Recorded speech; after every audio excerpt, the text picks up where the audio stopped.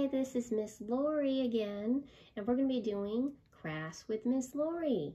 And we're going to be making a dinosaur craft in honor of our earlier dinosaur storytime video. If we're going to need a few things at home before we begin. We're going to need paper plate, scissors, glue, a marker, a black marker, a googly eye, or you can make a paper eye um if you don't have that. A toilet paper roll. And I use green paint and a paintbrush. You can also use crayons or markers. So the first thing we're going to do is take the paper plate fold it in half like this, and then open it up and take the scissors, scissors and cut along the fold. Then you have one half of the plate that looks like this, and we're going to paint this green or color it green. It's going to look a little like this. So this is going to be the body of the dinosaur. Then you take the other half of the plate and you're going to make some dinosaur parts to go with it. We're going to make a dinosaur tail, a dinosaur head, and dinosaur scales. And if you run out of room on that other half of plate, you can always use another plate. And then you're going to take the toilet paper roll. Going to cut it in half like this. To get two little legs for the dinosaur. And then I want you to take the scissors and cut a little slit on one side, cut on the other side, and do the same with the other leg. This is so you can slide the dinosaur body onto the legs. Okay, so the first thing we're going to do is we're going to take the googly eye and put it on the dinosaur head.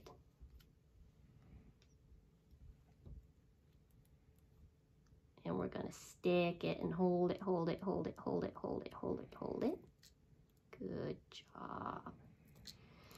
And once you stick the dinosaur eye on, we're to make a little smiley face on the dinosaur head.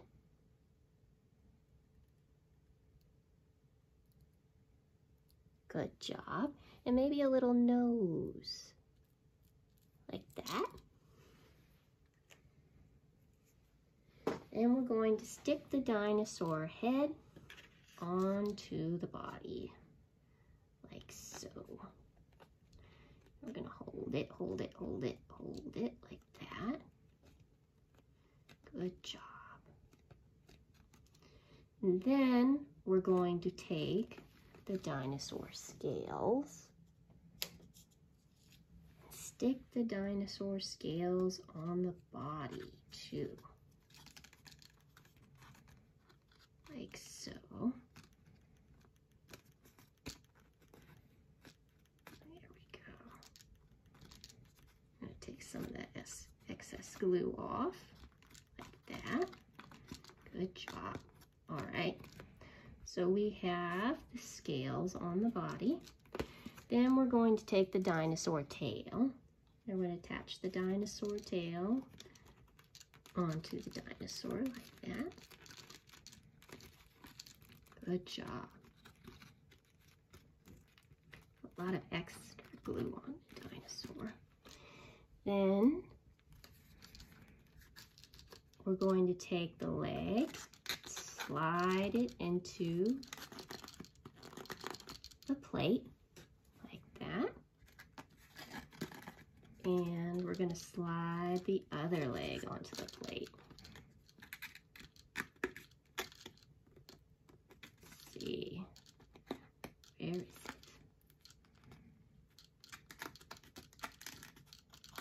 There we go. we have the two little dinosaur legs on. And we have our dinosaurs. Aren't they cute? What does the dinosaur say? Roar! Good. All right, we're done with our paper plate dinosaur craft. Ta-da! Thank you for joining me with Crafts with Miss Lori. I hope to see you again next week. Bye-bye.